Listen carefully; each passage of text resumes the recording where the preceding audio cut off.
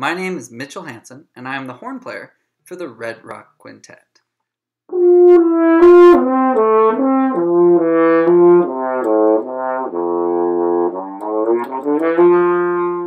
Today, I will be talking about what the expectations and the roles of the horn player are in a woodwind quintet.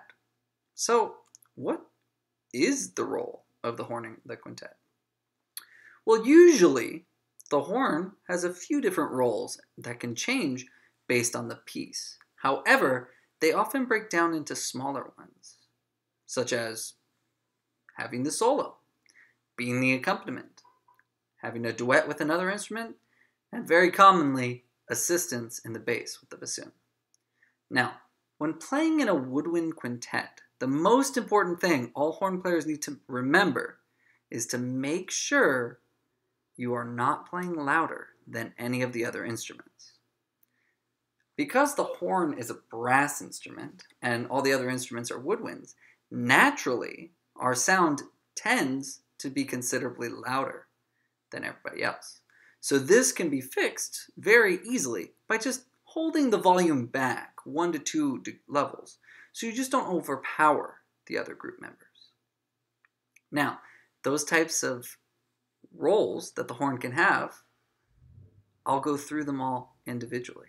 So, playing solo is one of the most important parts because the horn has a very mellow and dark timbre that contrasts with the much higher instruments, such as the flute, the oboe, and sometimes the clarinet when it's playing in the upper register. So having the horn play a solo is good because it has a very different timbre and sound than the other instruments and it actually stands out very nicely. The horn can also play the accompaniment part very regularly. This works very well too because it has a darker, more mellow sound. It actually contrasts the much higher instruments and allows them to play solo very well also. Occasionally, the horn will have a duet with another instrument. This can happen between any of the instruments. Sometimes the horn and the flute will duet. Other times the horn and oboe will duet. But this can happen between the horn and any instrument. So it's not exclusive to just the ones I mentioned. This is really fun to do because you might not have the melody, but you might have the counter melody, or you might have the melody and they have the counter melody. Either way, it is very important to make sure the parts fit together nicely. Knowing how these parts fit together is very important in making the music become something more.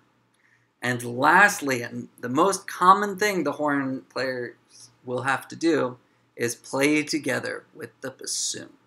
Now, more often than not, the bassoon plays the bass sound. So the horn is kind of like the tenor almost. Now, if that's confusing, I'll explain. The horn works with the bass and the bassoon to really help balance out the rest of the group. Since we're much lower instruments than the other ones, we're more of the low voices that really balance the upper voices. And the best way on being able to play successfully with your bassoon player is to work with your bassoon player. You have to know them well. You have to talk to them. And how do you do this? Well, sometimes that can be accomplished really well by working with them outside of quintet rehearsals. If you need to work with them on extra parts, feel free to work with your bassoon player with some one on one time because that can help bring the desired effect that we're all looking for.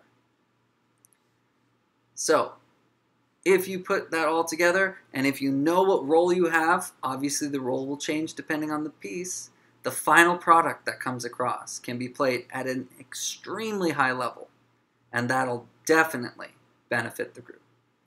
Thank you.